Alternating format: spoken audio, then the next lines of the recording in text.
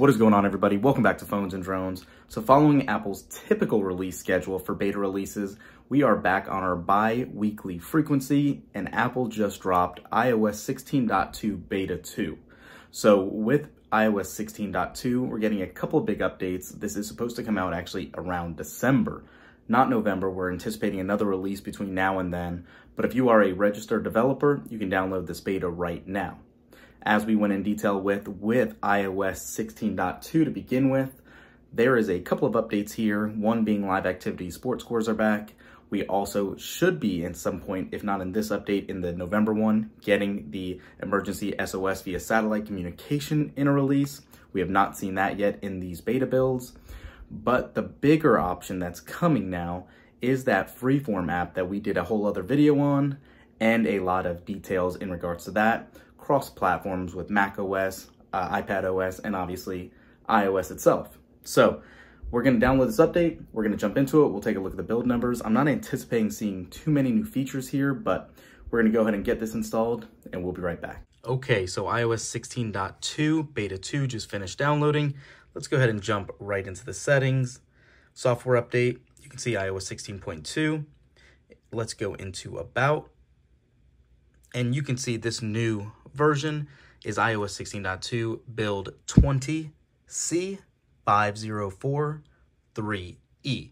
And you can see it says the generic, this updates includes improvement and bug fixes for your iPhone. Uh, let's see one other thing in settings as well. As we talked about, you have that new freeform option here, and it does give you a couple of detailed informations here, as far as if you'd like to utilize Siri and search for this, cellular data, and then alignment for the actual freeform platform itself. Do you want to activate center guides, edge guides, spacing guides, and then we have acknowledgements at the end, which is just your traditional terms. Aside from that, let's take a look in the TV app and see. Okay, so in iOS 16.2 beta 1, live activities didn't have the option to click into. As you can see, not only do we have allow live access toggles, but now we have that new update rate where you can make it more frequent. And this will allow more updates to come in at a more frequent pace. However, it's letting you know this could be a battery drainer. Just something to keep in mind. So actually, since that's updated, if we jump into the TV app as well, was there, so it's gonna let you show sports scores and all that let's see if under Face ID and passcodes, it didn't kick us out.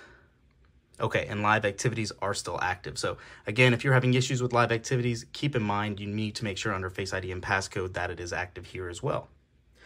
So aside from that, so far so good. Everything's been pretty smooth. I'm very excited to see if this helps with our battery life or not. We have had intermission intermittent issues with that as well.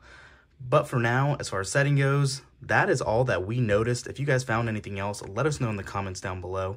Make sure to go ahead and grab this update if you're a registered developer. Traditionally tomorrow or later today even, they could as well release the public data beta. Thanks for watching. We'll catch you in the next one. Peace.